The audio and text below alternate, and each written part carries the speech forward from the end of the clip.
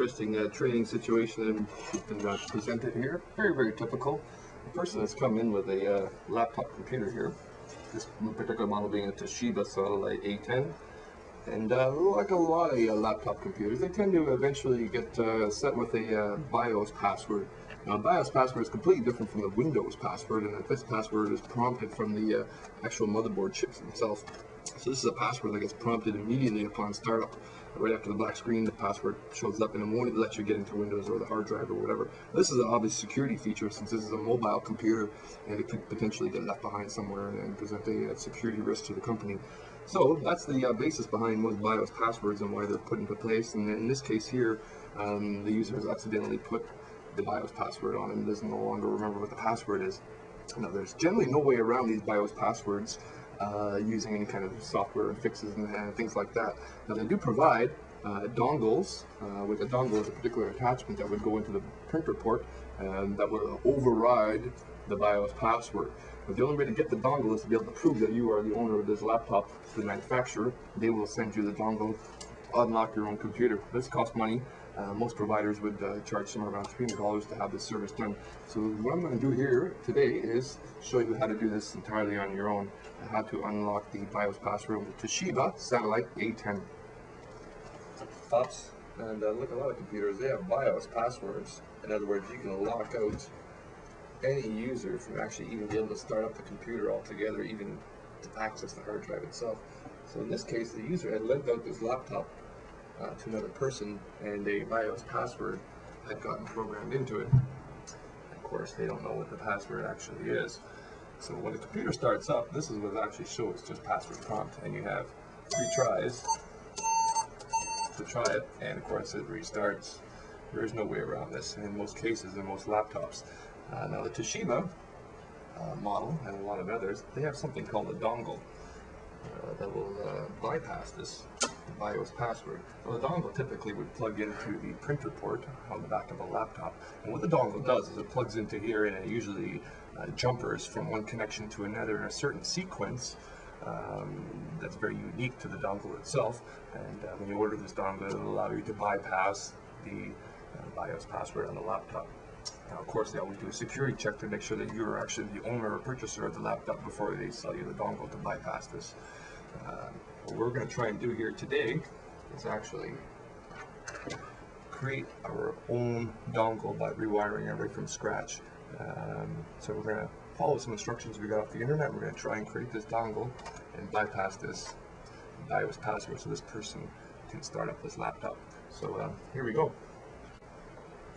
Alright, so what we're going to try and use as a dongle here is typically a uh, uh, printer port that the dongles always go into on a computer which connects directly to, of course, the, uh, the motherboard and the BIOS and everything in there.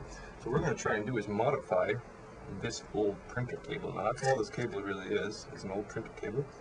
What I've done is actually uh, smashed apart the uh, end here on this end to expose all the wires inside. And if you look really carefully, um, they're actually uh, labeled by numbers. So each one of those uh, pins in there have a number associated with it. And what we're going to do is follow the instructions uh, we got the internet to uh, jumper these cables together to simulate the actual real dongle that would cost money to buy. So the instructions that we got here off the, uh, the internet, I'm going to show you here, instructs us to twist these wires together, uh, oops, right here, which as you can see is 1, 5, 10, 2, 11. All of the connectors on the actual pin itself are labeled inside with tiny little numbers. So there's no reason really not to, uh, to get confused or anything like that. It should all be in there. So that's what we're going to try and do right now is uh, twist together these uh, wire uh, these uh, wire sequences right here. We'll go ahead and do that.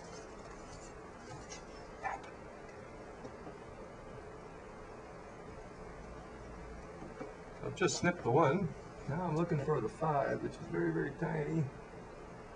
One, three, five. Five is Mr. Yellow. Cutting Mr. Yellow. So one and five are cut, ready for combination. And now I'm looking for number 10. 9, 10 is purple. So I snipped number 10, Mr. Purple. And now, as what you can see, is I've got the three, one, three, and 10. And I'm going to twist these together after I strip them. And they don't really require soldering after. So I'm going to repeat this process for all the other combinations. And uh, we'll go from Alright, it looks like we're completed making our uh, homemade big dongle here. And what I've basically done is uh, chopped off the other end and just limited it down to the one connector that we actually uh, require here. And so as per following the instructions, we twisted the wires together. We're basically causing a favorable short out that simulates a hardware dongle. Now getting back to why we were creating all of this, looking at this uh, Toshiba satellite laptop that's been locked down with a uncrackable BIOS password. Taking our uh, homemade rigged dongle here, and what I've basically done is uh, chopped off the other end and just limited it down to the one connector that we actually uh, require here. And so as per following the instructions, we twisted the wires together. Basically causing a favorable short out that simulates a hardware dongle. Now getting back to why we were creating all of this, looking at this uh, Toshiba satellite laptop that's been locked down with a uncrackable BIOS password. Here's the uh, back of the uh, Toshiba satellite A10. Here's the printer port, and this is how the dongle is actually applied. You see my twisted up wires here. It's just simply a printer connector with the appropriate shorting out, with favorable shorting out. I am going to put this in place very delicately right into the printer port. Squeezing it on there nice and tightly. Making sure none of these wires are touching each other or shorting out because that will definitely fry this computer beyond recognition. Now with this hack in place,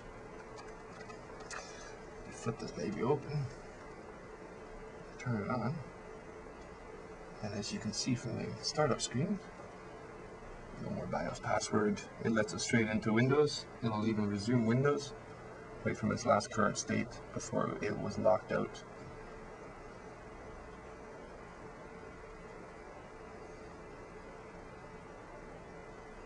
Voila.